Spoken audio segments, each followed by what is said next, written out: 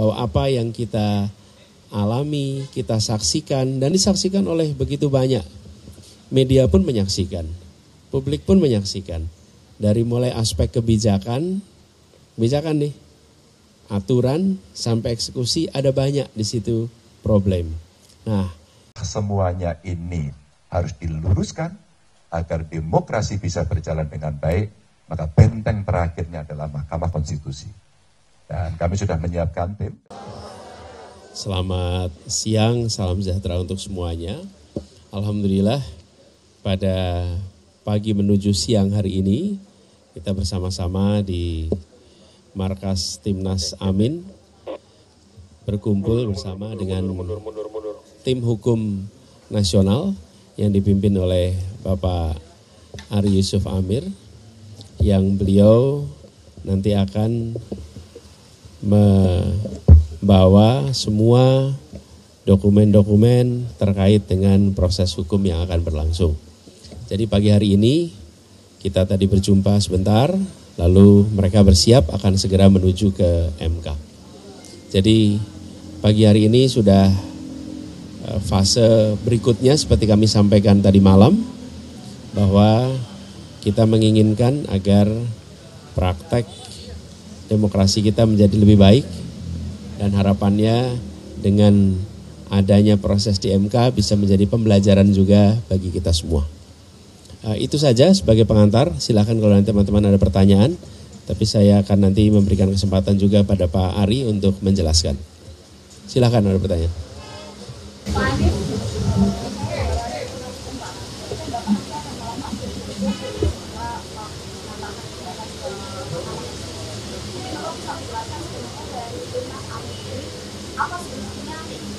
Yang diwujudkan dari gugatan di MK apakah ini pemilu ulang atau hasilnya atau hasilnya diambil atau bagaimana?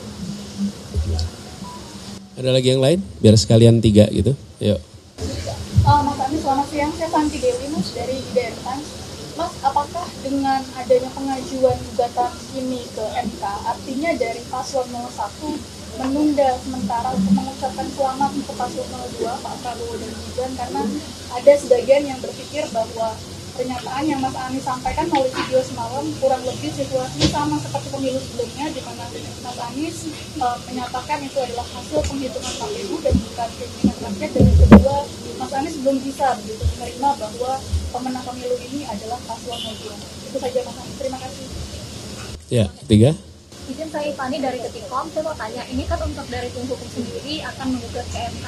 Kan kemarin malam uh, Nasdem menyatakan menerima hasil pemilu. Kenapa seperti terkesan ada beda sikap begitu antara tim hukum dan Nasdem? Ya. Terkait pertanyaan pertama, biar nanti Pak Ari ya, Pak Ari yang menjelaskan. Kemudian yang kedua, saya tegaskan sekali lagi, proses dan hasil sama-sama penting. Karena proses yang benar akan memberikan hasil yang benar pula. Dan bila ada proses yang bermasalah, maka hasilnya bermasalah pula. Jadi kita ingin menegaskan kepada semua bahwa apa yang kita alami, kita saksikan dan disaksikan oleh begitu banyak. Media pun menyaksikan, publik pun menyaksikan. Dari mulai aspek kebijakan, kebijakan nih, aturan sampai eksekusi ada banyak di situ problem. Nah, kita ingin agar itu semua dikoreksi supaya kejadian seperti ini tidak berulang lagi. Dan tadi saya tadi malam saya sampaikan supaya tidak berulang lagi. Jadi ini bukan semata-mata soal protokol saja. Protokol tentang ucapan, tidak ucapan bukan di situ. Tapi ini pada substansinya. Bagaimana proses itu bisa uh, diperbaiki dan harapannya mutu nanti kita juga akan lebih baik lagi. Kemudian yang ketiga terkait dengan uh, sikap kita semua memahami bahwa sedang menjalani proses konstitusional. Partai politik memiliki hak konstitusional dan partai politik juga memiliki sikap yang harus dihormati. Jadi kami menghormati, menghargai, dan insya Allah kita terus sejalan di dalam mengusung gagasan perubahan untuk demokrasi yang lebih baik. Jadi di aspek itu kita bersama-sama dan kita saling menghormati. Kita juga menghormati langkah yang diambil oleh semua partai-partai lain dan harapannya nanti kita akan melihat demokrasi kita bisa lebih baik ya. Saya menyampaikan terima kasih atas kehadirannya. Yang pertama, selama satu bulan terakhir saya dan Pak Mahfud berkeliling, melihat, mendengar, menerima banyak ke kelompok masyarakat mereka menyampaikan kepada kami cerita-cerita tentang proses pemilu yang terjadi di Indonesia ini. Tentu saja dalam satu bulan ini kami juga berkomunikasi dengan partai pengusung, para saksi-saksi di daerah, apakah cerita-cerita itu begitu adanya. Dan ternyata relatif cerita itu punya kemiripan. Mulai dari proses kalau boleh saya sebut seleksi calon capres cawapres sampai kemudian berproses pada putusan MK 90 dan pada saat itu awal cerita inilah yang kemudian e, rasa-rasanya proses pemilu menjadi pertanyaan banyak pihak. Dari pendaftaran di KPU ada catatan-catatan yang kami rasa secara prosedur juga ada masalah. Kami bertemu dengan tokoh masyarakat, mereka menyampaikan suasana kebatinan, apakah ini yang namanya pemilu yang jujur dan adil.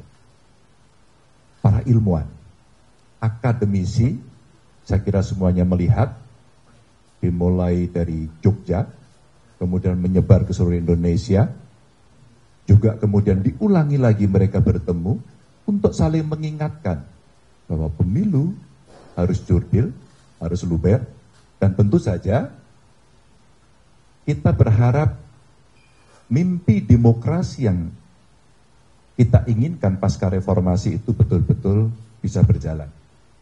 Nanti KKN, betul-betul asas-asas demokrasinya diberikan, dan inilah sebuah proses panjang yang terjadi. Banyak catatan yang memang disampaikan kepada kami. Kami dan tim hukum harus memverifikasi satu persatu. Cerita tentang aparatur yang terlibat, mulai dari pusat sampai daerah. Cerita bantuan yang muncul tiba-tiba dengan sangat masif sekali. Bahkan ketika kemarin di DPR ada pertanyaan berapa sebenarnya jumlah bantuan sosial, siapa yang membagi, dan itu semuanya ternyata menjadi cerita di publik yang sampai kepada kami. Bahkan Bapak Ibu, teman-teman semuanya, dari apa yang ada, ada riset yang mengatakan ada korelasinya antara bantuan itu dengan masyarakat akan memilih sesuai dengan yang ada dalam hatinya atau terpengaruh dengan bantuan itu. Di samping itu ada cerita politik, ada cerita intimidasi. Saya kira inilah yang kemudian uh, kumpulan cerita dari publik yang masuk kepada tim Ganjar Mahfud. Tentu saya menghormati seluruh proses yang berjalan. Kami menyampaikan laporan-laporan kepada penyelenggara pemilu. Apakah itu KPU, apakah itu Bawaslu. Dan kita berharap memang Bawaslu akan merespon. Sayang tidak semuanya terespon. Maka setelah pengumuman tadi malam, tim Ganjar Mahfud sudah bersepakat. Kalaulah semuanya ini harus diluruskan agar demokrasi bisa berjalan dengan baik, maka benteng terakhirnya adalah Mahkamah Konstitusi. Dan kami sudah menyiapkan tim dari tim hukum untuk kita segera mendaftarkan apakah besok atau Sabtu untuk segera kita e, menyampaikan seluruh yang ada yang kami persiapkan untuk menjadi pertimbangan e, hakim konstitusi nantinya. Dan saya kira ini momentum yang sangat bagus kepada majelis hakim yang nanti ada di MK untuk menunjukkan kredibilitasnya. Setelah dulu ada putusan MK-MK, setelah juga kita melihat penyelenggara pemilu juga mendapatkan hukuman etik, maka tentu saja kita mesti mengembalikan kredibilitas demokrasi kita ini jauh lebih baik.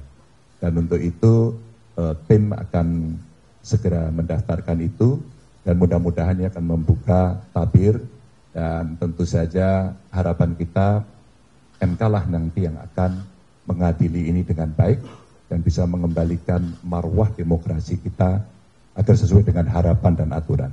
Teman-teman, itu yang bisa saya sampaikan. Terima kasih. Assalamualaikum warahmatullahi wabarakatuh. Saudara-saudara sekalian, itulah pernyataan yang disampaikan oleh Pak Ganjar Pranowo, ya, mewakili paslon 03. Ya. Jadi prosesnya masih panjang. Ya. Pilpres kalau hanya melihat hasil pengumuman KPU tadi malam, itu mungkin ada yang mengatakan selesai, tapi itu belum selesai. Orang Barat bilang, it is over, but it is not over yet. Jadi masih ada jalan ke Mahkamah Konstitusi, dan kami dari tim hukum sudah siap dan tadi dikatakan oleh Pak Ganjar, mungkin besok, mungkin Sabtu akan mendaftarkan permohonan PHPU kami ke Mahkamah Konstitusi. Karena Mahkamah Konstitusi lah benteng terakhir penjaga konstitusi dan kita memang menuntut keadilan konstitusional ya, dalam proses ini. Saya tidak ingin menguraikan apa pun ya dari apa yang akan kita ajukan dalam permohonan kami. Pada waktunya kami akan melakukan itu, tapi kesempatan Anda-Anda semua untuk mengajukan pertanyaan kepada Pak Ganjar, mungkin juga pada Pak Mahfud, dan kalau ada hal-hal yang teknis, mungkin kami akan bisa memberikan jawaban. Nah, eh, silakan kalau ada yang ingin mengajukan pertanyaan, tolong menyebutkan nama dan media mana. Eh, sebelah sana, satu, dua, ada lagi yang lain? Tiga. Silakan, Mas.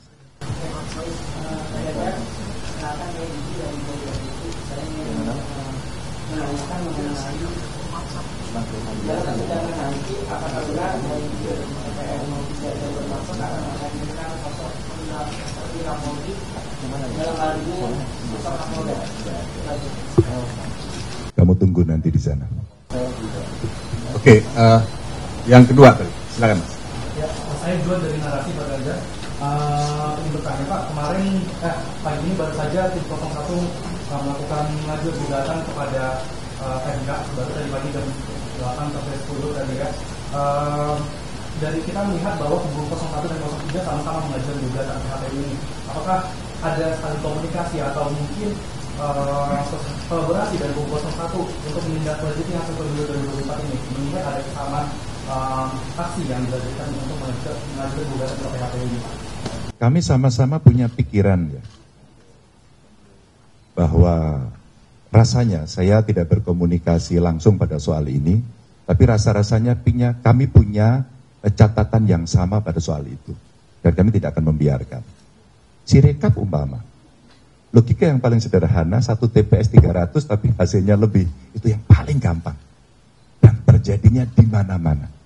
Kami melihat sistematis betul ini terjadi. Mudah-mudahan nanti akan ada pakar yang disiapkan oleh tim untuk bisa membongkar cerita itu sehingga bisa membuka kepada mata masyarakat. Kedua umpama sama-sama kan setelah yang saya ceritakan tadi bahkan luar negeri pun memberikan catatan loh kepada kita. Ini penyelenggaranya penyelenggaraan pemilunya kok seperti itu.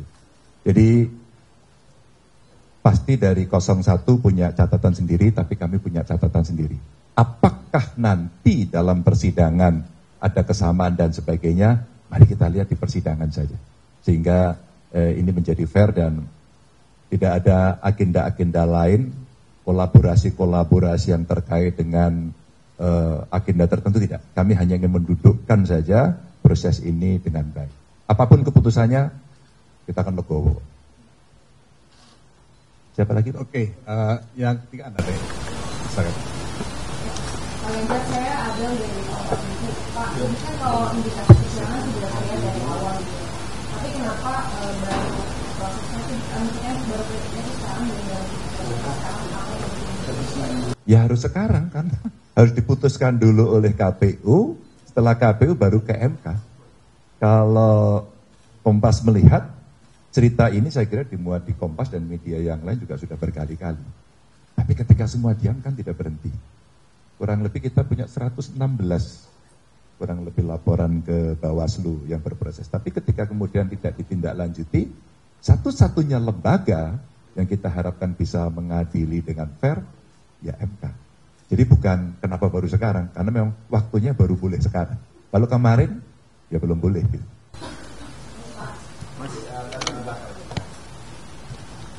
Ya, ah, Mas Ganjar, saya Rian dari kompas.com. Kompas.com. Ya. Saya Rian dari kompas.com. Uh, Mas Ganjar ini dan Prof Mahfud, kalau tadi kan uh, bicara soal persiapan untuk mengajukan sengketa ke MK, nah di sisi lain kan juga jalur politik itu tengah diupayakan uh, melalui hak angket di DPR. Nah, apakah juga dari Mas Ganjar dan Prof Mahfud ada harapan juga untuk hak angket ini segera digulirkan oleh PDIP dan partai-partai pengusung Mas Ganjar Prof Mahfud gitu. Dan progresnya sudah seperti apa sampai saat ini? Terima kasih.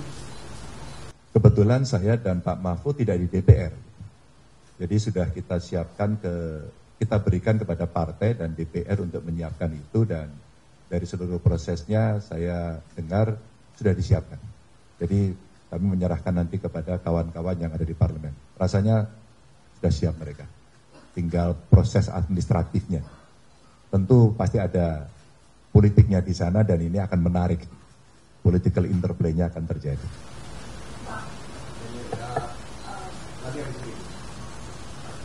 Eh, uh, Mas Ganjar, Pak Mahfud, Pak Tudung, uh, terkait dengan komunikasi dari mana Mas? Serio dari CNN TV Pak, uh, terkait dengan komunikasi politik dengan para ketua umum partai, ini seperti apa berla, uh, terkait dengan kesepakatan untuk kemudian mengajukan ke Mahkamah Konstitusi dan juga salah satunya opsi tadi seperti yang ditanyakan teman Kompas.com untuk ke hak angket begitu? Karena kalau kita lihat dari pihak misalkan ke 01 saja uh, ketua umumnya Nasdem ini sepertinya semalam sudah memberikan statement untuk memberikan selamat kepada pemenang pemilu dalam penetapan KPU semalam. Tapi dari Ibu Mega, Pak Mardiono dan dua partai lainnya komunikasinya seperti apa uh, terkait dengan keputusan keputusan hari ini Oh, kalau keputusan hari ini kami sudah sudah mengantisipasi lama dan kami berkomunikasi cukup intens. Jadi ini cerita soal proses lama, persiapan lama yang baru bisa diomongkan hari ini. Jadi kami komunikasi eh, cukup intens terkait dengan itu. Soal partai lain mereka punya sikap sendiri-sendiri, ya kami sangat menghormati dan itu sah adanya. Maka eh, setelah ini pun nanti kami akan berkomunikasi lagi kepada beliau-beliau. Rasanya ya fatsun politik itu mesti kita lakukan.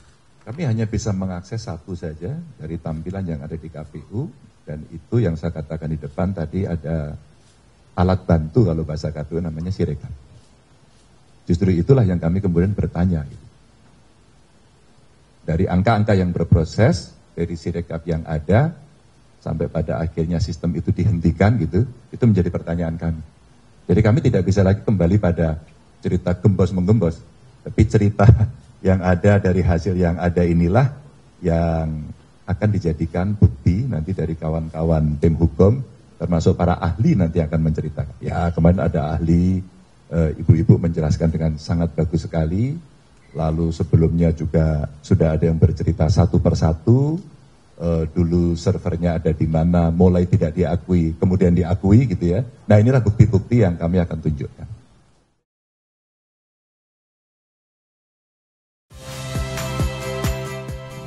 Saya Muhammad Syahreza.